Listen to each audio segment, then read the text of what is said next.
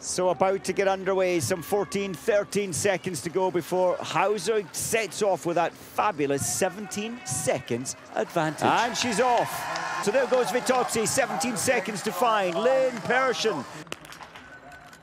Ooh, one miss. I'm surprised. That opens up lots of opportunity. Persson's missed the fourth. Vittozzi, five out of five. Calculated, calm. Is Wierer going to be the next athlete She out? is. I think she is. Two Italians. Vittozzi still leading the way. So Elvira Oeberg maybe just, right, I'll get on the tail of Vittozzi's skis and then I'll just back off. She's shooting fast again this time. Vittozzi still not phased, matching her and actually more accurate than Elvira Oeberg. Fabulous shooting there from Vittozzi. Now, Look at that. So Simon went past one or two there, but decided to tuck in behind Vittozzi.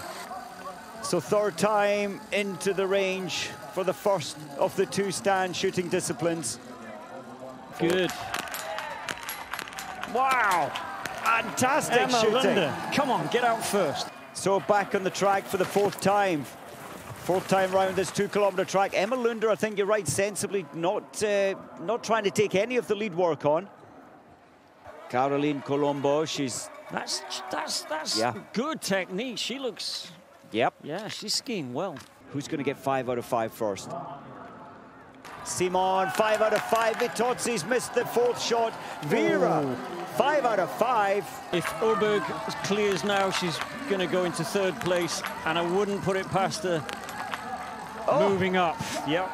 Well, Elvira Oeberg flying along the track, already moved from fifth to third. That's quite some performance.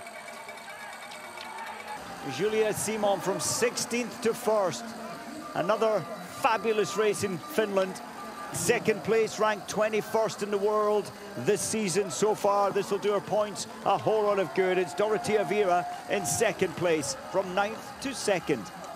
And uh, Elvira Oeberg, she put it all out there, didn't she, early on? Third place.